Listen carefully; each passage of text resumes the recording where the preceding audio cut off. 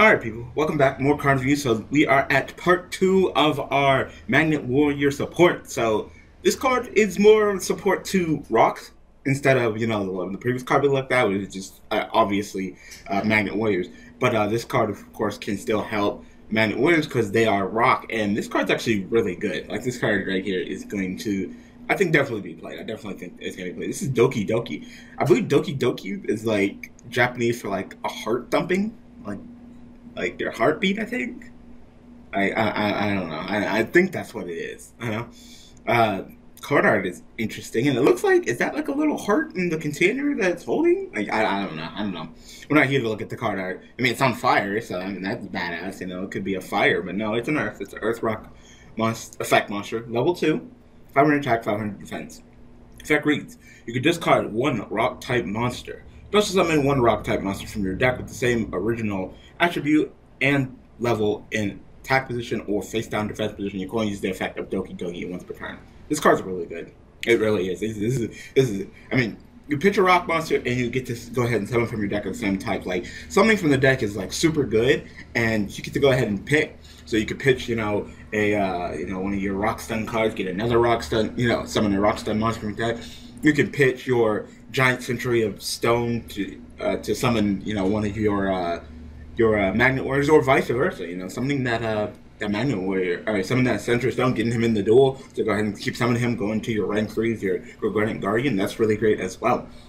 But another thing that's really awesome about this card is that because it's level two, you can utilize that uh, block dragon a little bit better. So of course that block dragon effect, you get monsters up to three monsters for its total level. And generally you'd be like, well, um, two level fours and it's level eight. But now, especially if you throw it in with your uh, magnet warrior, so level three, you can go a magnet warrior, a magnet warrior plus Dokidoki. That's eight. You know, so you get the full benefit out of um, Block Dragon, and that, that in itself is just some power. You know, it really is. So uh, overall, this is just a great card. You know, you can even summon like the really, really big uh, rock launchers. Like if you're playing that old ass, you know, uh, Sphinx deck, that flip Sphinx deck, you can just summon this, discard a rock monster, the one of the sphinxes, summon another sphinx, uh, uh, you know, like pitch a level six sphinx, set a level six because it said or face down fence position. You could set one of your larger sphinx, flip it up, bounce everything. Like that's that's pretty powerful. This card is actually really great, like, really, really, really great, and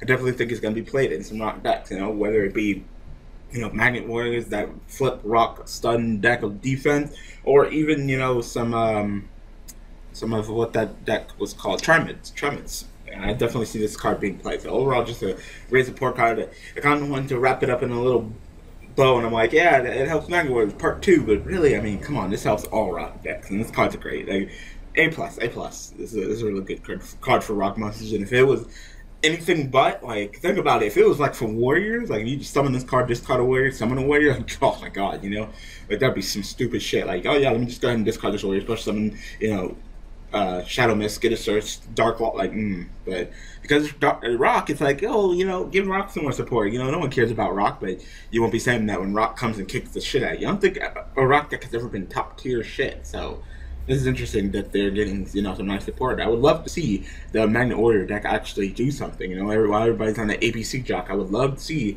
some uh, Magnet Warrior action, but, hey.